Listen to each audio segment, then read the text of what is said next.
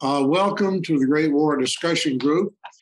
The speaker for today is Steven Dietz, who has had a long time interest in optics and, for our purposes, especially uh, military optics uh, during World War I.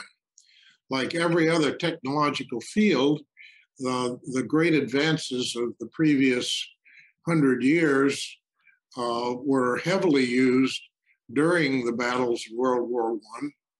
And an entirely new field of optics was even developed, there, namely aerial photography, uh, which will be the subject of our uh, discussion group next month. So, Steve, the floor is yours. Thank you. So, as a level set for this presentation, it is an overview. Far more detail is available. And if I, as I said, I think before everyone joined, if I had done this in person, I would have brought examples and be showing them and passing them around. But I think it, it would have been a really good way to show how important and revolutionary uh, military optics were.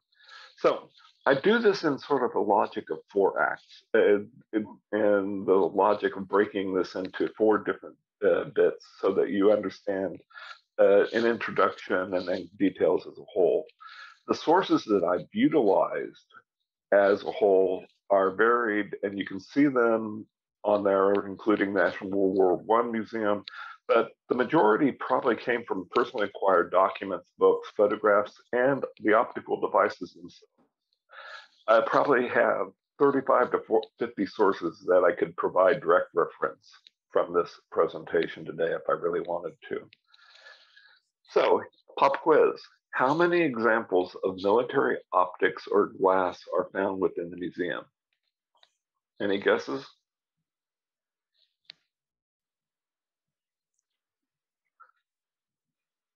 I don't have my conversation piece pulled up, but there's over 30 examples, and I'm probably missing some.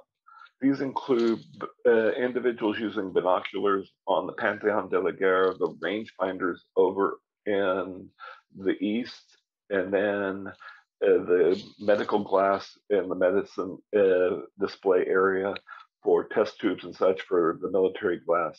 And it, it's amazing when you start looking for military optics and military glass how they are there in the museum itself.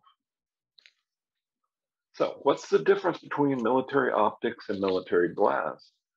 Military optics are generally any optical device that have been contracted by the government and they meet the specific standards and specifications for use, while glass can be test tubes, optics, I mean, uh, ceramics, goggles, drinking glasses. Uh, it, it, the it's much broader in field.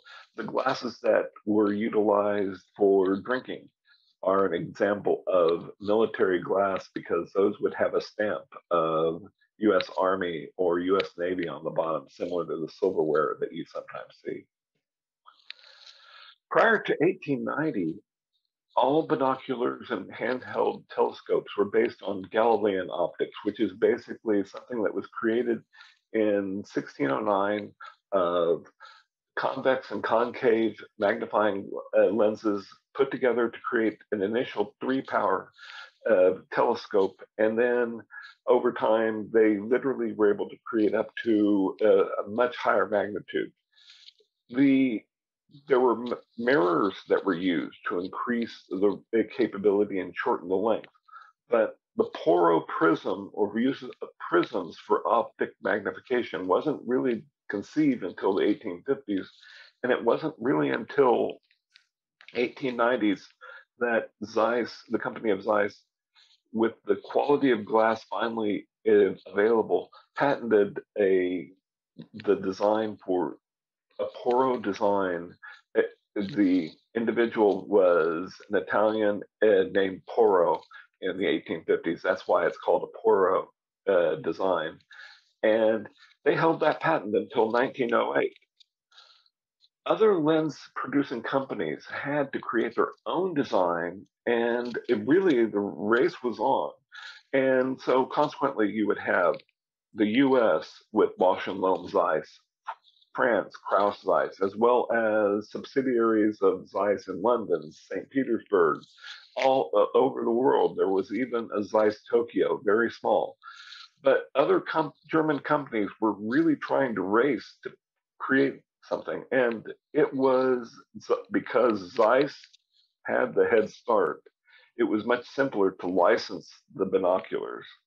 So here's a fairly poor, simple example that up there in the upper left is how your eye works, where you see the arrow pointing up and it just inverses it and it goes and such. Right below it is how a Galilean telescope with a an objective lens and an eyepiece lens, and you look through the back, and it reverses it correctly. Now, at the bottom below that is how a prism works. It goes into the prism, angles out into another prism, angles out, and sends out.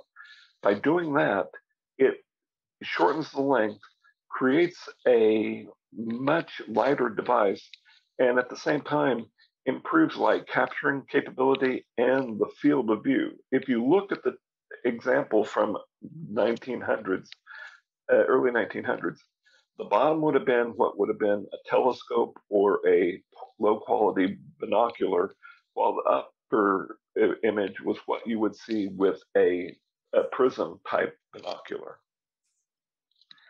The reason why I'm using binoculars for this discussion is because even though military optics would be found in field telescopes as well as rangefinders, artillery uh, rangefinders, and such.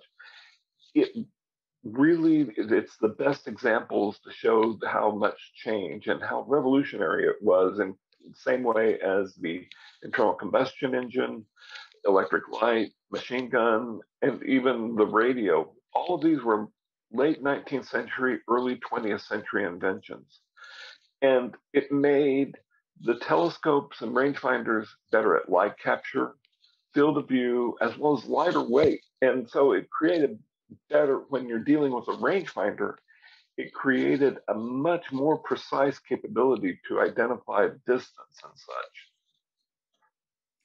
So here's a simple example from 1908 uh, showing the difference between, and this was an ad for Bausch and Lomb Zeiss they're both six power or six uh, magnitude of, and that the the one on the right is a Galilean design, and it would weigh close to two to three times the weight of that uh, binocular. And that if you were looking in comparison, that is fairly representative of how big a six power uh, mag- would have to be for an older Galilean style. And once again, you see the sailboats and the ordinary binocular glass versus the Lomb Zeiss. So, what makes optical glass optical glass? And it's graded by clarity, transparency, the striae, which is little filaments in the glass uh, to, that can literally change. And the Germans the Jena factory in Germany in 1890 had truly perfected a high quality uh, optical glass. And only German, it was considered a state secret, and only German had that high standard of glass. Great Britain and France uh, glass was inferior to the German glass, and the US glass was even more inferior to the Great British glass. So between 1890 to 1914, German optical glass dominates, and there's even utilized in non-German products. Uh, between in 1913, the issue of in Britain, 60% of all optical glass being utilized mm-hmm. was coming from Germany, and 21% yes. was Zeiss specific. Hi, Laura. I'm on a Zoom. Here's the 1908 uh, ads from various different magazines that are in. One is up there, uh, right is Britain, Carl Zeiss for the Zeiss London. The lower is Krauss in Paris. And over to the left is the and Lomb taken from a National Geographic. And you can see that all of them use the, the same design logic of advertising of how important and how great uh, the glass was for uh, the uh, German glass. Even with uh, trying to sell it to American armies. So here was an ad that was found in one of the military artillery journal of the period in 1912. And that journal basically was trying for the army pattern and it was talking about being officially adopted by German and Russian governments. And it truly shows again how the reliance on before the war for German glass. So, what's the difference between military optics and non military optics? The military optics utilize designs for both durable wartime use, and the glass has to meet a prior documented standard and the specification of a high quality optical glass is required. And then for non-military, it uses a lower quality glass, which is not uh, transmitting the color. There's greater distortion and greater potential for visual aberration.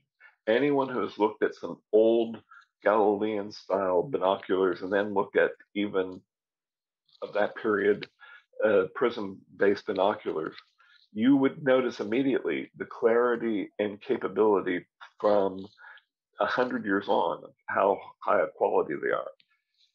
The military optics usually standardized on a six power, six X power uh, or higher, where non-military optics might use, such as opera glass, might only be two to four power.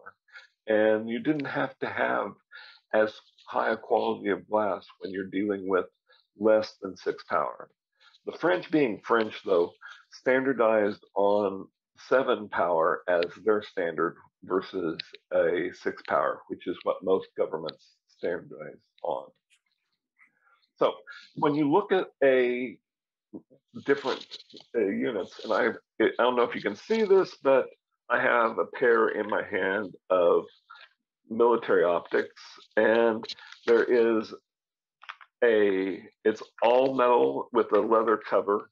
There is a cover to cover the top lens.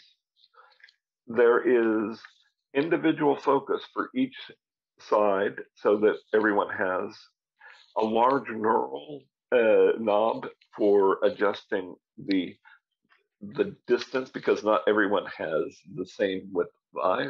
Also, what might also be inside would be a reticle or graticule of, of gradations to give indications. And then as the war came, there were special eyepieces that would be used for goggles, gas masks, and such. And that there would also be eh, on the outside for it to use them as rangefinders when the rangefinder wasn't being utilized. It had, you might find outside attachments to help identify rangefinder use. So if you look here on the left are non-military. All of them are center focus. They are not individual focus. Even that prism glass that's in the smaller. There is well, eye shade that is available. Let's see if I can do this right. Yes. There's, whoops, didn't mean to do that. Uh, there's eye shades available, but not on all of them.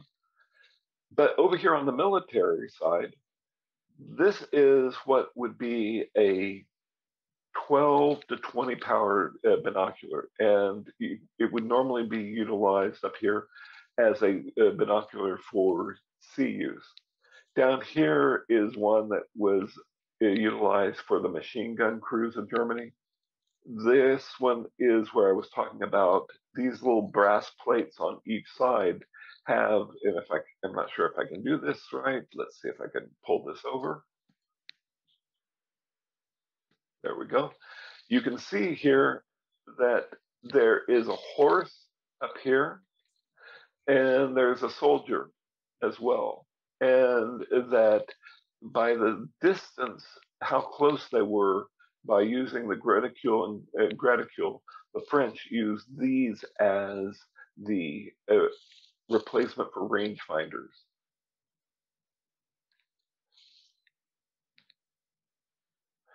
So when we talk about military optics, standards and specifications, they define the weight, the size, uh, the durability, functional use.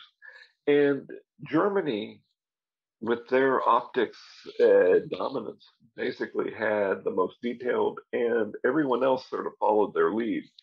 And before 1900, only France and Great Britain had, and they literally were almost side by side copies of the German standards. And it was the reason for this was that Germany's glass was being utilized. Other countries had either less rigorous standards or specifications, or they were just beginning to create them. By 1914, as you see here, only Austria, Germany, France, Switzerland, and Great Britain had created detailed standards for.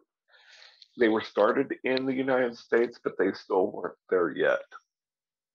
So, smaller pop quiz. This is global production just for high quality optical glass. And you can see the red is Germany, and they produced over 90%. If you include the lower quality glass for civilian use, they still dominate with 60%, and the but the French and the British wedges get bigger. But my question is, which of these wedges is the United States? And the answer is number five that you can barely see at the top. So we move on to the war. October 1914. I don't start in with August or September because of the fog of war and the availability. Everyone is thinking it's going to be a short, quick war, and that they thought that oh, we can get by with what we have. And the British blockade shuts off direct supply to everything but the alternative supply routes initiated through Denmark and Sweden. And these would primarily go to US and then on to other countries. But Britain, France, Italy, and Russia are all immediately affected. So the companies that sold or used German optics of the Allies, those materials and companies were confiscated or converted. And there's an almost a spy novel event that occurs in 1915. A corporate mutual benefit effort was tried between Germany through Switzerland to ship glass, optical glass, to their enemy, meaning Great Britain. But it failed. All of the negotiations fell apart. And the bottom line German optics aren't available any longer, but the need is everywhere. So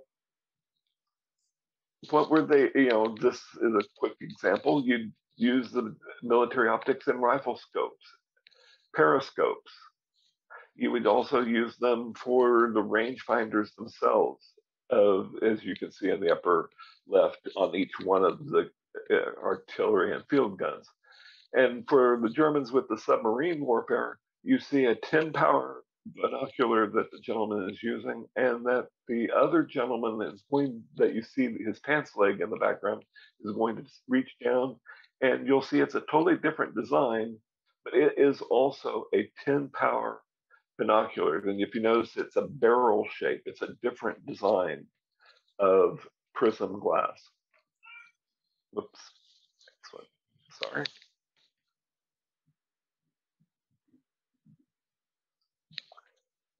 So, both France and Britain realized high quality glass needs before the war, but and both had different issues to resolve and uh, take care of. In France, there was only one major manufacturer of high quality glass, and that was Parra-Mantois. And they had the capability, but because it was so costly at the time, they had almost their entire factory focused on lower quality or LQ quality glass and didn't really have the means and the other smaller ventures to ramp up once war was declared. In Britain, it's like they had also small shop ventures, but none really produced consistent high quality glass. There was only one major high quality glass producer of the Chance brothers, and they had major uh, production contracts through Barr and Stroud, which was a rangefinder and binocular manufacturer, and Ross. Now, it this combination, they literally had locked up the capability for any other company to buy Chance Brothers glass of any high quality. So the initial solution, confiscation. As I said earlier, the Zeiss London and the uh, Zeiss Russia, as well as uh, Zeiss Paris, were all confiscated, eh, both finished product, finished glass, and raw glass. Raw glass would be glass like diamonds in its raw form and it has not been ground down or polished to the needed, where the finished product might be a Zeiss uh, binocular. The, all of this was converted and acquired by Ross uh, binoculars. In France, Krauss, the German glass was, quote, donated to the cause. That's the way it's described.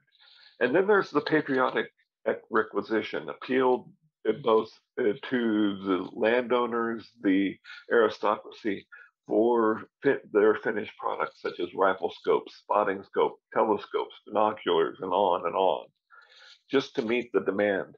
The expectation, once again, was that it would be a short war and that they didn't have any need. Similar to the artillery production in Britain, where they were only producing enough for artillery uh, gun to fire 20 shells, 20 to 30 shells per day. So, but the real solution was to create a comparable high quality glass quickly and it would meet the needs uh, of but Unfortunately, this does not happen until close to 1916. The Chance brothers were forced by the royal government to partially share some of their secrets to help manufacture. I say it's partially share because what Chance brothers actually did was that they became part owners of these many of these smaller companies and it was more of a minor takeover even during the war. And then at the same time, Ross uh, did research of the confiscated documents when they took over London, which gave insight, but not the whole story for high quality optical glass. Worse, the products such as binoculars were just not as good as the German products in 1914 and it really becomes apparent. And so there were literally raids by the British uh, and the French to go across the lines during their raids to acquire binoculars and any type of German optics as part of the raid. And that type of raid was, it was actually if you brought one, one of those items back and kept it in possession, it was a courts martial offense in the British and in the French military. So you were expected to immediately turn it over to the higher officers. British rangefinders of Barr and Stroud were generally used for naval spotting and artillery. And these were superior to the Germans.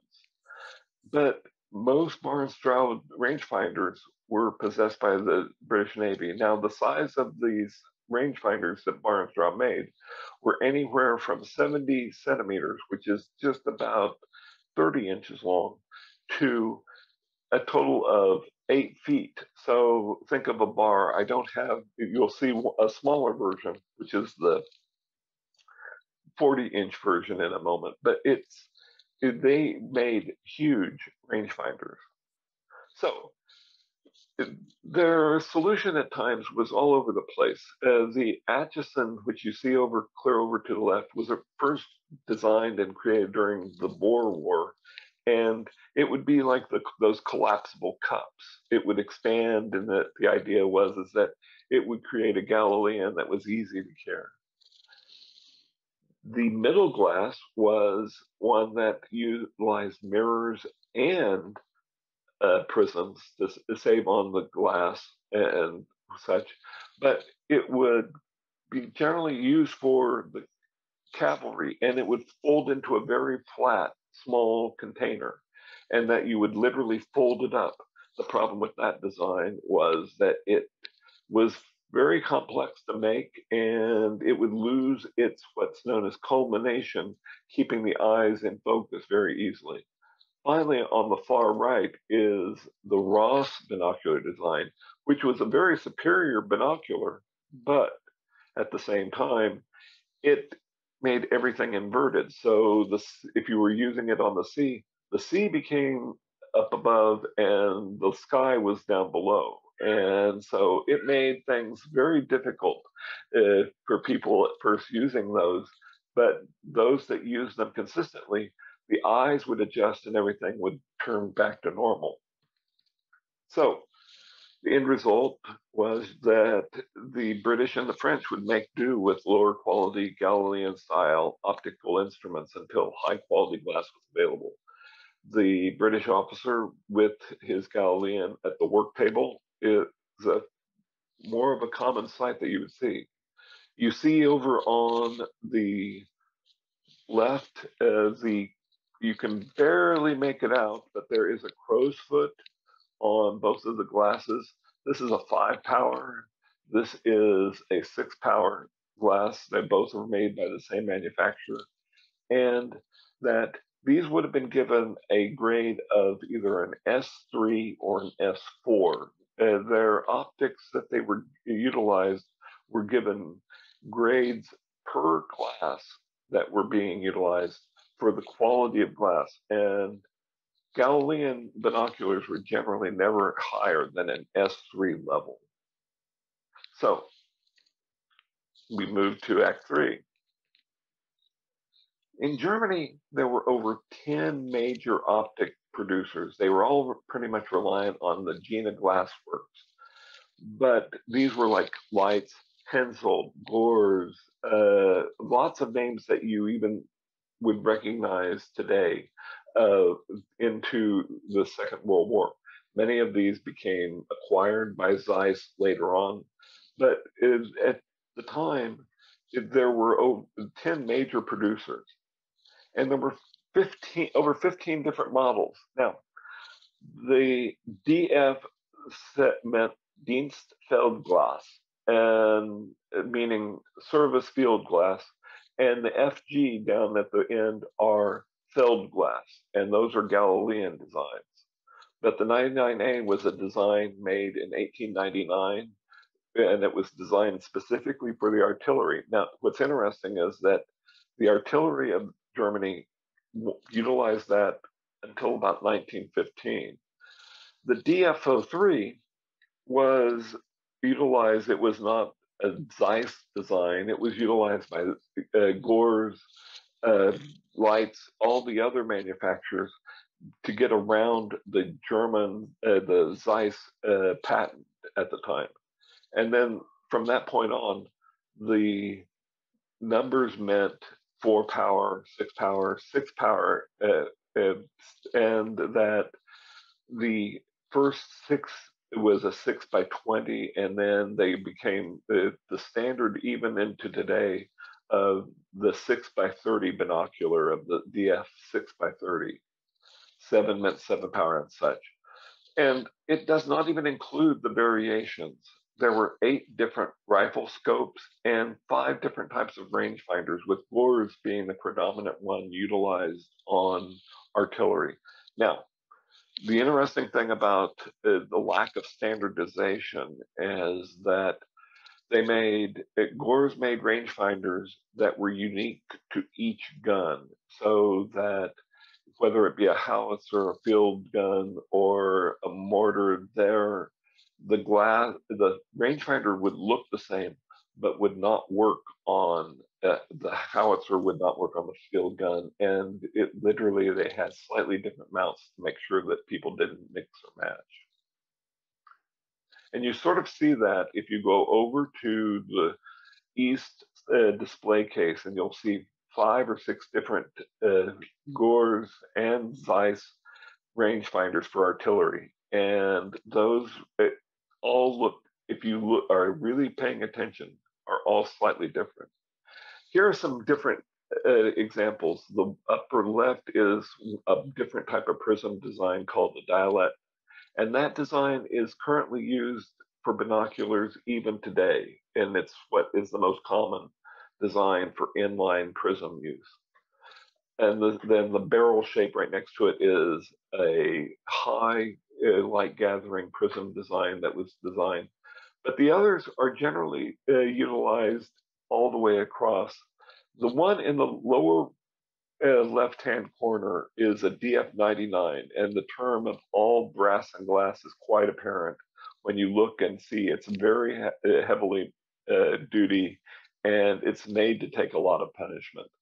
The two field glasses that are in the center are Galilean design, but this uh, one that looks all brass was not painted. It was left as is to uh, because it was generally used at the ocean side to uh, to look out for uh, the ability to monitor ships at sea.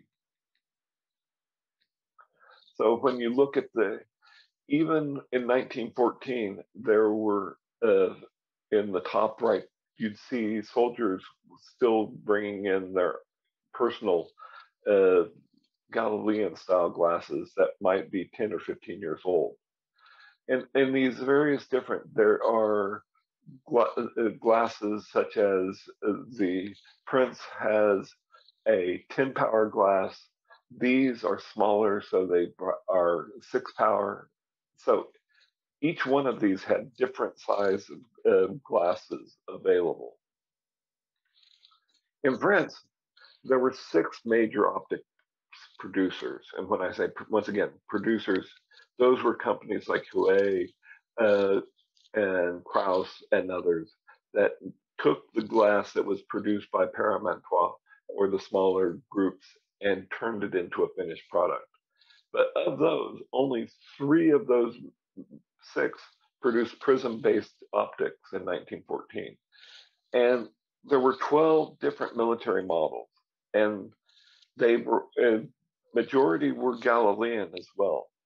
Three different types of rifle scopes and two different types of artillery rangefinders. Now, what is important to understand about France and their rangefinders is they did not pursue the same style as what Britain, the United States, Germany for an optical rangefinder. They used a telemeter that was handheld or a angular inclinometer, which did not use the same logic as, but that's the French being French, as I, I would sometimes would say. So here are six different French binoculars, and that this one is a Huet, this one is also a, a Huet. And what's interesting about the this one is, and you can't see it as easily, is that this has up here a tip-in filter on one side and a tip-in uh, reticule on the other.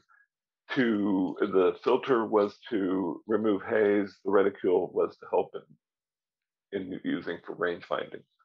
But these were at the same time what were generally sold. These two glasses in the lower corner are Lemaire, and they were sold to the United States quite commonly. And so, but the French utilized this is a, a Galilean style telescope, a battery commander style made by Krauss. Uh, some people call them trench periscopes, but the whole purpose of them is that you would spread them out so that you would get what was called better plasticity and better real ability to range uh, do range finding.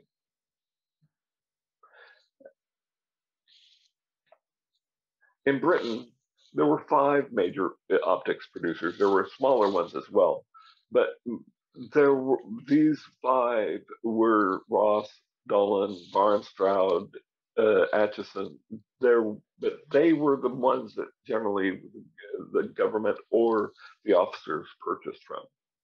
And it was a mix of both Galilean and Prism. Once again, three different rifle scopes primarily used and four different types of artillery rangefinders. So down here is a smaller size uh, Barr and Stroud FT37, which was first designed in 1903, and that it has a single eyepiece, and it was very accurate to identify, and it would be used uh, in a number of different ways, as you'll see in a moment. This is that Ross binocular again. This is a Dollond. Uh, this is my mind just went blank. I can't tell you, but uh, the others are all. These are all British glasses. Here's how the rangefinder might be used for aerial with a Lewis gun. The Canadians would bought their own, even though they were part of the uh, British service, made sure that all of their officers had higher quality glass. So they bought their uh, binoculars through the United States at the time. And so they came equipped with prism based binoculars that were purchased. Many of them were Zeiss, for that matter. The Austro Hungarian uh, uh, Empire was interesting because they used German manufacturers, but they required their own uh, Austro Hungarian standards. The majority of these were produced were Goerz or Zeiss, and otherwise they used just German produced products. But these designs that you see here are all Austrian uh, standard design, and that you can find a similar design for this glass that was made for Germany, but it's different. They were big believers in a Galilean for just short field sight, but this design is the same as a German, the center lower is the same as a German six power glass. This glass is what would be used for mountain, aerial, as well as naval. But the officers would use small little opera glasses. You would see, uh, once again, they would use uh, Galilean, as well as you can tell by the case here, uh, that is much more of a prism based, as well as this style is also a prism based for the Austrian officer. So let's move to the United States. It, like I say, it's like deja vu all over again because in 1913, it, it, you can see that 56% of their all optical instruments came from France they recognized it as an issue as early as 1912, and but nothing was done. Same thing for 1914. If you notice, the United Kingdom is halved in part because war is declared and that they literally get nothing uh, from Britain from August on. But Germany is able to provide for them for at least the first half of 19, I mean, last half of 1914. So in 1915, the year before, Lomb had only been able to produce one metric ton of glass. That sounds like a lot, but when you're dealing with 80 to 90% of waste of grinding and cutting, that it, uh, that it really wasn't that much. They doubled the production in by 1915. But the 1915 abridgment report said there was no quality production available, and with the optical glass drying up, there needed to be greater production to be done. But nothing was done to prepare or produce within the United States. It went from one metric ton in 1914, two metric tons in 1915. It did double up to 12, close to 12 metric tons in 1916, but when June 1917, the situation is really no better than 1915. So the Department of Commerce and the War Department convenes a meeting with the major U.S. optical glass, and this is Corning, Spencer Labs, Carnegie Institute, uh, the GeoLab, and Bausch Kodak. And there was initial resistance, but they all realized they needed to come together to create the same quality glass as a German, and it was a the only word for it. By that cooperative effort, they were able to create a product in 19 months that took Germany 25 years to create.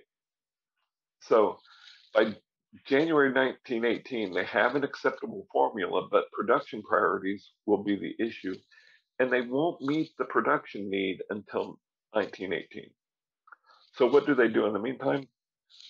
They purchase French Galilean or prism binoculars and not British because the British were not willing to sell them. Or they, like what the French and the British did before, they acquired them during raids or attacks on German positions. The end result, most of the US production need arrives just weeks before armistice. And when I say weeks, the majority does not really start being shipped on the boat until September, October. In the meantime, you have these ads in the National Geographic, the eyes of the Navy. And uh, everyone has heard or seen, and there's the letter that people uh, see that FDR signed in recognition uh, for people that were donated. He signed all the letters personally for the the donated glass, and that would be returned if you if reused. If they were not, they were returned. And then the same thing, and this is a preview for my next presentation, is that they also called for utilizing the photographic lenses as well, because there was a need for aerial cameras. And if we were behind on the binoculars and rangefinders, we were further behind on aerial cameras. So they were looking for anything that they could get. And once again, this is a National Geographic ad. And here's a, picture of them. It may be a staged photo, uh, photograph, but you can. This is the inspection team as they're unboxing and looking at the uh, binoculars as they came in. And you can see this gentleman is holding a pair of binoculars. There's a binocular there. This gentleman is holding a telescope. There's binoculars, and he's taking notes. And so it's the logic is is that they were getting a mountain of supplies per the request. In the end, this were what the United States came up with. This is a Weiss design, uh, which is similar to a Bausch and Lomb uh, binocular, and that you see almost one similar over in, in the on the west side in on display. This is an early Bausch and Lomb design that it, it mimics the German Zeiss design. This is a Spencer Labs and it, you can't read it, but this says U.S. Navy with the serial number, and this is also an American design. But they were using French, the, the Lemaire binoculars almost exclusively during the first part of 1918. So you see, this up here is a Krauss uh, sighting telescope, and it's got it's a prism base, but it's got three different viewfinders you see battery commander binoculars here, as well as a rangefinder. You also see another battery commander, and these two officers have uh, what are Bausch and Lomb binoculars. So, in comparison, let's just talk about the distribution the wealth versus uh, the poverty of binoculars the armies would distribute two to three binoculars per company in the German army, and the lowest level would be a Feldwebel, and that that would be a common rank to, be, to have binoculars in possession. And it was expected the officers would purchase them unless they were part of the machine gun brigade, and then they were provided binoculars. Those and the snipers were provided binoculars. In France, there were only one to three per regiment, and it usually it was rare, but a lieutenant, but normally it'd be a captain level, and it was expected the officer would be purchasing his own uh, binoculars. Same thing for Britain, but it was a, more of a requirement. As a requirement, you were to come with prepared with your own set of magnification. It might be a telescope, it might be binoculars. So they were using ancient to modern binoculars. The Americans were two to four because what the patriotic donation and such, but it was also expected the officers would donate their own. In Italy and in Austro-Hungarian, it was only one to two or one to three, and but the officers were required to provide their own binoculars. So let's look at the production level though. For binoculars, Germany produced over a million binoculars during the war. And that's an astounding figure, but those were also distributed to Austria and Turkey as well. And they were just turning them out. And that's why that the Germans were able to have so many. That one pair of binoculars that I have a copy an example here. If you look at my this style here, there were 150,000 of these created and given out to all the machine gun uh, units. The only five to 12,000 rangefinders, and those were the uh, type that were the Zeiss or Goerz that were similar to the, the, as I call it, the bar and but the horizontal. And then there were 15 to 25,000 artillery rangefinders that were for field guns and howitzers and such. France produced 400 to 600,000 binoculars. And when you look at the numbers as a whole, the numbers decreased dramatically for each country. There were only 10 to 15,000 binoculars that were created it, between 1917 to 1918. There were more created in ni- December 1918 than during the entire year of 1917. And it, artillery rangefinders, they were using primarily the French 75s, and the coastal artillery were using Barr and Stroud. Don't have any details other than the binoculars made by a Italian company only produced five around 5,000 total during the war. And the Austro-Hungarian produced, eh, you know, relied upon the Germans. So they took their numbers from the numbers produced by Germany. So we get to the end of the war. What happens is that binoculars, rifle scopes, and such were considered uh, booty and compensation for the war effort and they were dumped on the US civilian market. And you'd find them in surplus ads and magazine back pages. But the higher quality German rangefinders that would be utilized, as well as the battery commander binoculars and higher quality optics, were utilized by US military well into the late 20s. Consequently, the floor fell out for US optics demand by other than Bausch and and the, the companies like Weiss just fell by the wayside, as well as Spencer Labs and such. So their binocular is and optics companies almost went out of business, which created the new optic shortage in, in 1940 because there was the productions were not kept up. So those binoculars I was just showing you, this is a good example. These were being sold for 9.85 at the same time Bausch and Lomb civilian glass were selling for $25. Or you could pay 2250 for high quality German glasses and that they say they have a thousand on hand, a thousand more coming. And that was literally true. And when these glasses were in reality higher quality, and while you don't see, you see a, image for a centered drawn binocular center uh, focus. It's not what usually was gotten. They were sending out home the higher quality German binoculars. But this poster was utilized both during the First World War and in the early days of the Second World War. And that's what I want to leave you with. It that look at it says no one will dare lift its eye when you lend your Zeiss or Bausch and Lomb binoculars to the Navy. So thank you. Do you have any questions?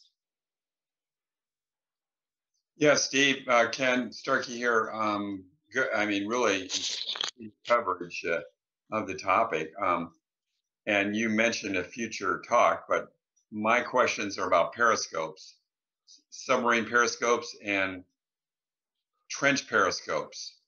Uh, you didn't, really touch on those uh, directly. Yeah, uh, Anything you could? Um, sure. And the thing, I didn't just because they're a topic on, unto themselves, especially submarine periscopes. Now, it, no offense right. to the American Submarine Task Force, they're pretty much a, a sideshow, and they're using mirror and lower quality, but not uh, prism based compared to the higher quality Zeiss. I have a picture that is a sort of a poor quality where the Germans are literally using a submarine periscope as a sighting device on land and that they have tipped it up and they have it looking like a tree.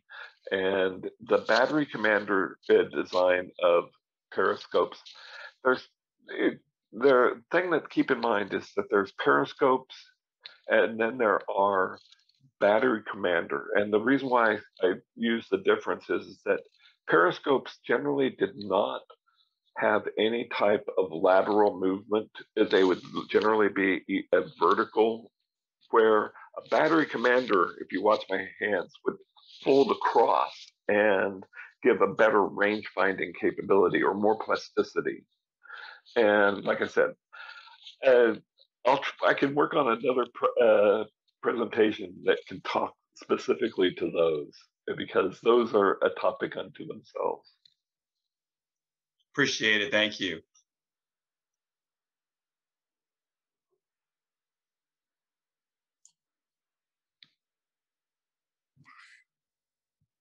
Anyone else? I, I think, anybody else have questions?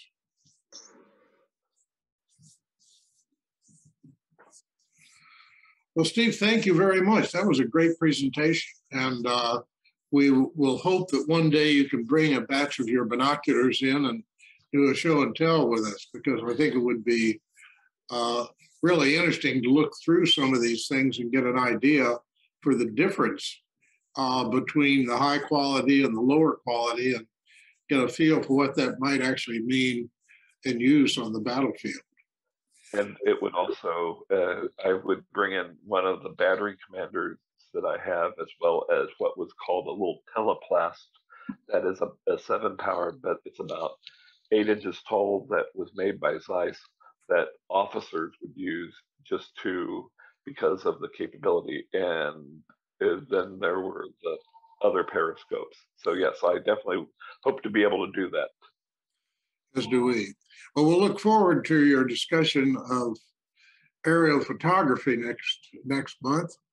And again, thank you all for coming to this lecture, and uh, we will uh, we will adjourn.